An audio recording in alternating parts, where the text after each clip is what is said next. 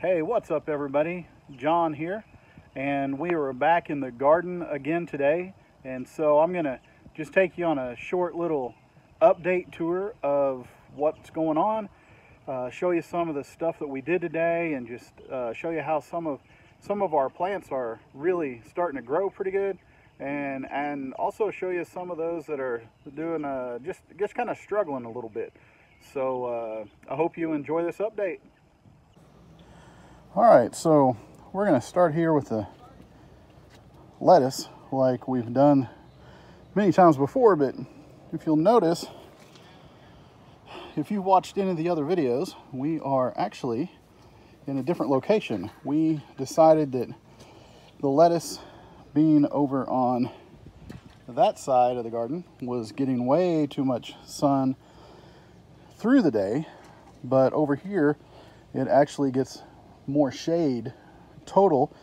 Um, not right now, it's all in the sun, but right here you notice in the middle, it was not growing at all, but since we moved it here in the last week, the middle has really grown up. So I think it's a good move, uh, moving it over here out of so much sun. And what was here was the garlic, and we, we moved it over to that side. Okay, so last week we uh, had a whole bunch of rainwater that was in some tubs right here that we went ahead and transplanted these tomatoes into these new barrel tubs and they're looking uh, looking pretty good. It was a really good move to put them in something that actually drains. So we've got tomatoes growing here in in a few of these. Right here, we've got uh, zucchini growing here. We got yellow crookneck squash growing here. Some of these are peppers.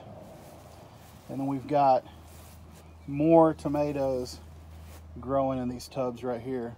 So if all our tomatoes make out, we'll be having quite a few, but we'll get over to some here in just a second that aren't uh, aren't looking so hot still.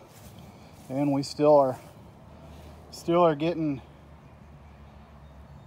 good growth on a lot of these potato plants. We've got we got some bare spots where we don't have we don't have any potatoes coming up yet, so I don't know. Hopefully they'll go ahead and make. But potatoes growing here, that bed right over there. You recall here a couple weeks ago we put up our fence for trellis work here for uh, all these peas. Look at all these peas growing here. We've got, we're not sure why, but we got a lot of yellow leaves coming on around the bottom here. But even with the yellow leaves on the bottom, they're growing up, growing tall here. And that one actually, look at that, a little flower on top of those. So they are still making, they're still growing. We're just gonna let them go and see how they do. And Right along here, we've got, what we got? Cucumbers growing on this side. Still growing pretty good. And of course, I think one of my favorite beds here is the this particular cabbage bed just because we've got we got some that are growing really good, getting spread out wide. We still got this one that really kind of got frostbit, but it's hanging on. We've got some healthy leaves on it too. So we'll just let that hang out and it won't be long till we're actually getting a little cabbages in the middle. So then we can then we can start making some slaw or making some soup or whatever. But check this out two weeks. These were planted, these beans were planted two weeks ago. And they are full. We've got some little bug spots on some of them, but little holes in the leaves, but they're not too bad as of yet. Of course, here we've got spaghetti squash there, spaghetti squash there, and we've got cantaloupe growing right there. So, and then as I said, we've got we got some uh, tomato plants that just really are struggling. A little bitty one there, a little bitty one there, and so we'll. They may not make it. We're we're still up in the air about that, but it looks like they may not. Some others that have a little little damage to them, they may go ahead and take off. I guess we're gonna find out. Right there, a couple more here. Some over here. So I don't know. We'll we're trying to figure out what we're gonna do. But if you remember, you remember last time, I uh, raked up these these beds here, and this one had the onions in it. Well, this week as we were looking around along the edges, down around the side here, there's actually there's actually more onions that are growing than uh, than I thought. So I may not have damaged them too awful bad. Over here we've got strawberries that got planted. We got the rest of them planted today. We got hay put down. So looking forward to having some of those. So more of our more of our cabbage and our, our original onions that we put in. So Okay, so you saw over on the other side of the garden where we had moved the lettuce to. And the garlic, we moved to right up here. Um, and so they're getting more sun up here and I think it's gonna be good. But some of them actually, I don't know what happened. Maybe they got too wet whenever they were on the other side but they've got uh, they got the leaves that are coming up. Um, they're gonna got gross and sloughed off, and so we actually had to pull some of them up out of the out of the planters because they were just uh, looking like they were starting to rot. They had they had good uh, good roots on them on some of them, but just above the ground they they just looked horrible and and they were dying. So we just pulled them out. That way they're not uh, contaminating the rest of the rest of them. If they would, I don't know. I don't know how that works, but uh, anyway, we don't have uh, we don't have 59 anymore. Um, we got more like 50 or so, but uh, still going to be plenty uh, if they go ahead and dry out and grow. So, okay, so here you see, here's the garlic, and uh, see how some of them, even still, they're kind of droopy looking. Um, yesterday, whenever we pulled them out, the ones that we pulled out were really slimy on top. But most of them still looking pretty decent. And how do you like these uh, stair step, a little uh, little planter shelves that uh, that my in-laws put together? They use old uh, old stair tread or uh, risers and put put a tread platform on it to hold the planters. I thought that was pretty cool. It looks real nice. So, and we've got our planters up here that Kelly put in. So we got basil in this one and sage growing here. Chives planted here, but we don't have anything coming up yet. Um, parsley, uh, oregano, and cilantro. So we'll be having some some herbs this summer. that uh, we'll be able to do some nice cooking with. Maybe dry some of them out. So garlic, herbs, looking pretty good. So they're here on the little deck, just off the uh, just off the garden here. Now these, that's our onion beds. And we had had trouble. We looked out here earlier this uh, earlier this week, and this this little guy here and that little stem there belong together.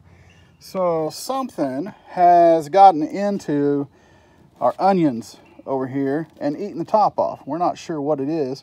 So today, Kelly and I, we got together and we put our heads together. We made little covers for the beds.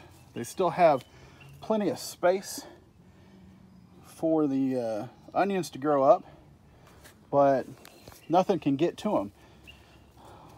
Most uh, most bugs can't get through this through this netting or the screen, and of course, no varmints or whatever it might be, animals can get in there. So we can easily lift those off and get into the bed if we need to pull out some weeds or tend to the onions.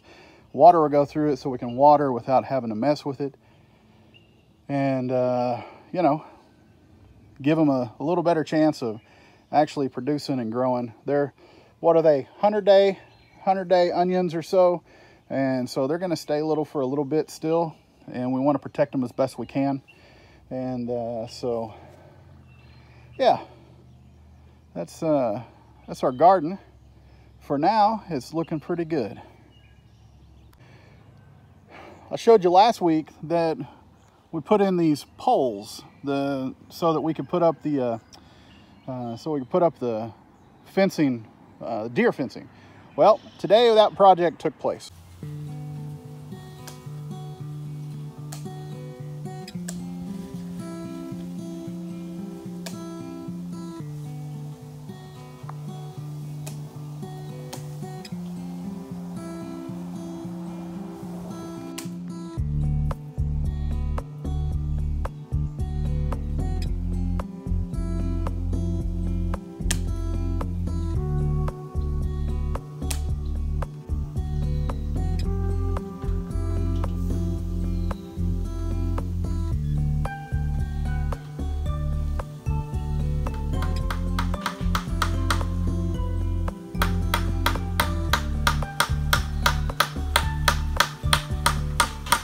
So we've got eight foot deer fencing all along this fence on the side of the yard.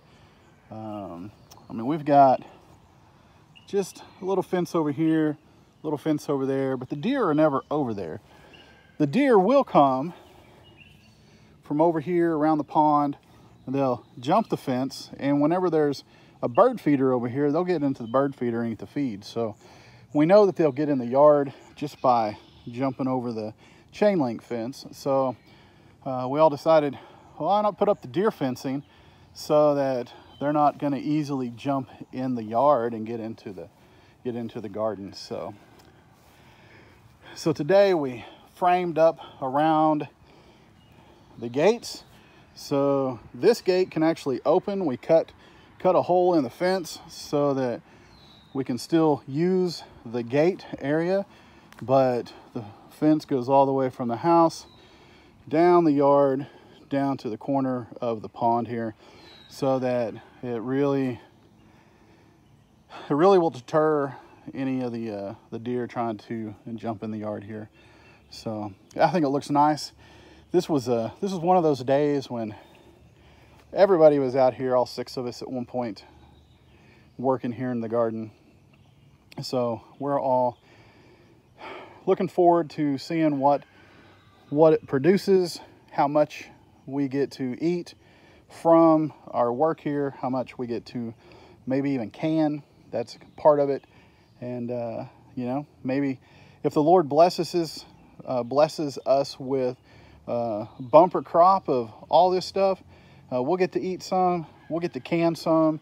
Maybe we'll even have an opportunity to uh, gift somebody else else with uh, with some produce as well. So anyhow, that is the uh, that's the update tour of our garden for this week, and we'll uh, we'll keep taking a look at what's going on throughout this week, and if there's any major changes, uh, maybe I'll just shoot out a, a, short little update video. Otherwise, probably be next week uh, that we'll take a look again and figure out um, what's going on, see what's grown some, and see what else is maybe still struggling. But you know, it's just kind of how it goes whenever you got a garden. You don't know what's gonna what's gonna produce well, what's gonna take extra work, what's just gonna take off um, just after a week or two, like the like the beans have. Uh, those are just really kind of amaze me. But anyway, thanks for thanks for sticking around and and watching the update. Um, if you if you like what we're doing with the garden, if you like the videos, then go down below and hit like on this video, subscribe to my channel, uh, ring the notification bell so that you know whenever new videos are up. Um, and uh, if you think others might enjoy seeing the garden videos, then uh, feel free to share with your friends. And you know, we're not we're not professionals by any means. Just because my name's my last name's Gardner doesn't mean that I'm a professional gardener. Uh, it's just what I was born with, and I don't I don't know that I have much of a green thumb, but that's why this is a family project. And so, anyhow, uh, thanks for watching. Appreciate you guys. Um, I know some of y'all look forward to these updates. Um, you know, I'm looking at you, uh, Lindsay. So, anyway, yeah tune in next time and we'll have another update for you. Like I said, thanks for watching. Talk to you guys next time.